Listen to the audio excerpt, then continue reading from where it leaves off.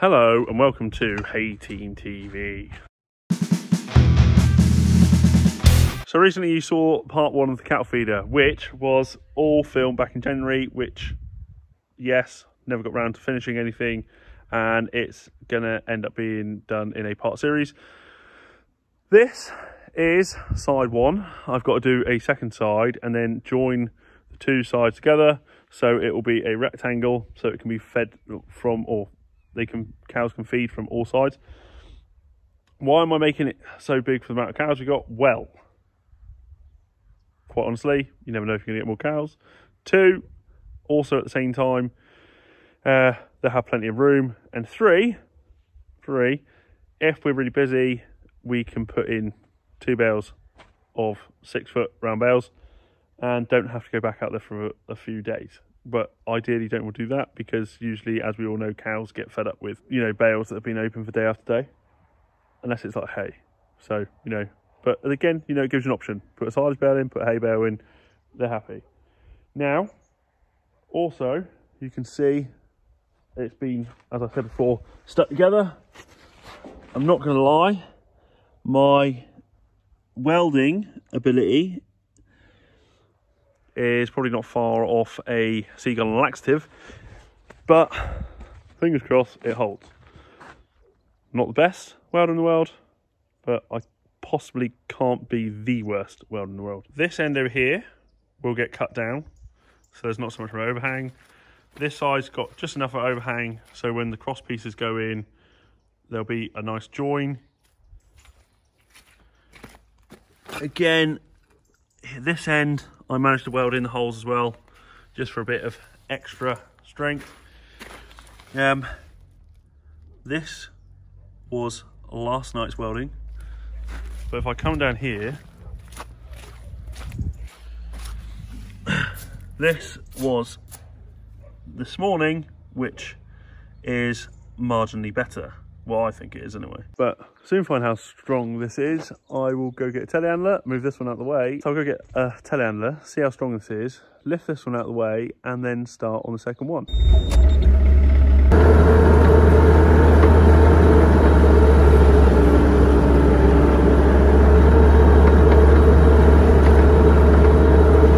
Okay, for the size of the barrier, I'm going to put on the pallet fork extension so I can go straight underneath it and move it easily. So I'll leave you there.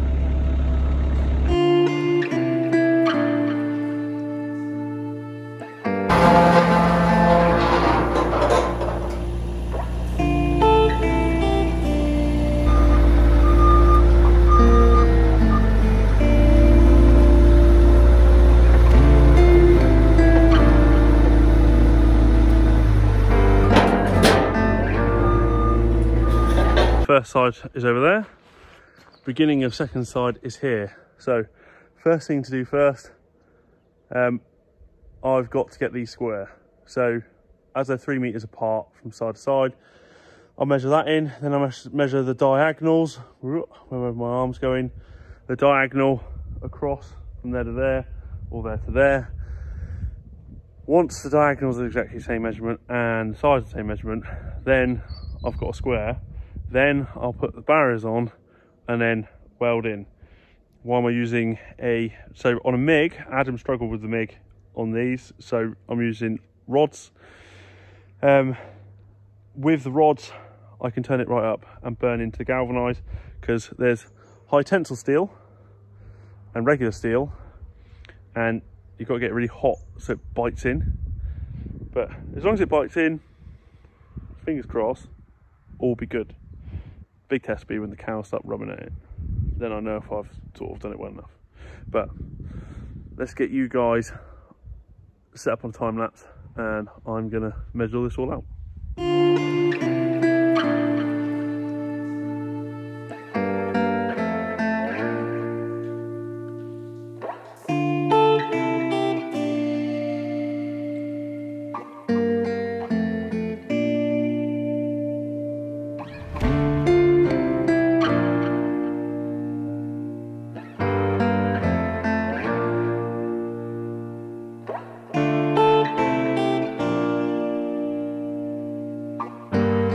I know it doesn't look like it with the angle of the camera, is square.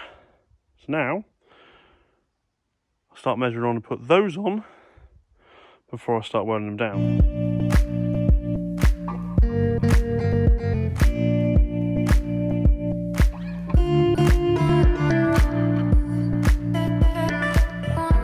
Last one to measure out, which is six, six centimeters at the top.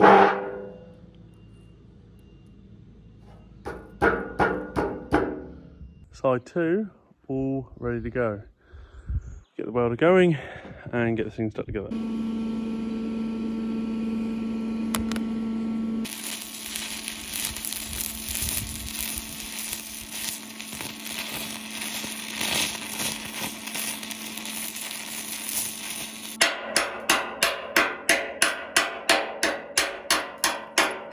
Now, if you guys don't mind, I'm going to speed this up. One, it's going to bore you less, and two, two, I'll have less to edit.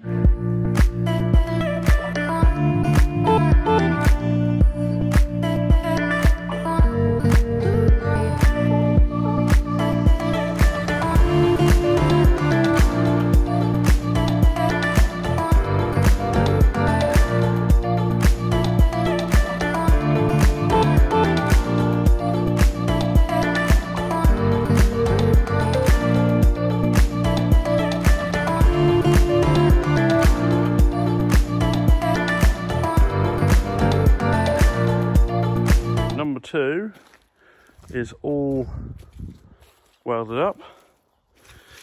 As you can see, welding welds aren't as even as bad as I thought they were going to be. Welds aren't too bad. Next step, I've got to measure up side bits and then get these two parts welded together. I've just gone and got a heap more barriers, which I've got to cut a metal trough off and bits and pieces. I've got one already at length. I'm going to lay that one on top of the others and use that as a guide rather than remeasuring out all the time. It's just faster. So I use that to measure out. Um, it just speeds things up for me.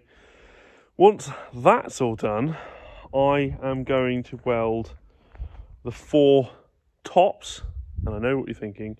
So on the other barrier, the other side of the telehandler, there are two plates on top.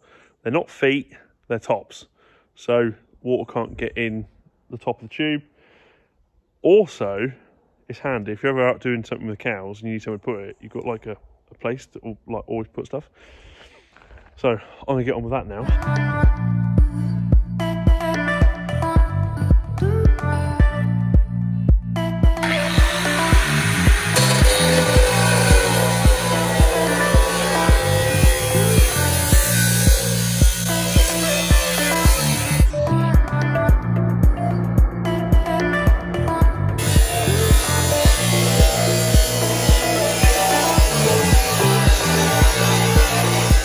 So there we have it. Right, this is going to be part two. I didn't think it was going to be part three, but things are taking me longer than I thought they had. So, I've got all my bits ready. I've just got weld the last two sections on. So I'll trim those when it's up upright. Um, could just be easier because I can get both sides of it. Uh, those over there are all cut, ready to go. So the six to go on sides or the ends, because we're rectangle. So these are sides, they'll be the ends. And jobs a good one. But I'm running out of daylight. I've got a little bit more grinding to do now. And then you guys will have to see it being put together in the next part. I didn't think it was going to go this far, but it, it has. Does anyone else have it when you do a job that loads of little things happen around it that you can't just get on with it? Well, that's kind of sort of what's happened to me. Anyway, if you haven't yet done so, please hit that subscribe and give us a thumbs up. That'd be amazing. Also, you can find us on Facebook, Snapchat, Instagram, and also on Twitter. Twitter. You can also get merch on eBay. And yes, his raw shortness will be in a video coming soon. So this you're ne- ne- not next. No, you're not necessarily going to see the next episode of this in the next video.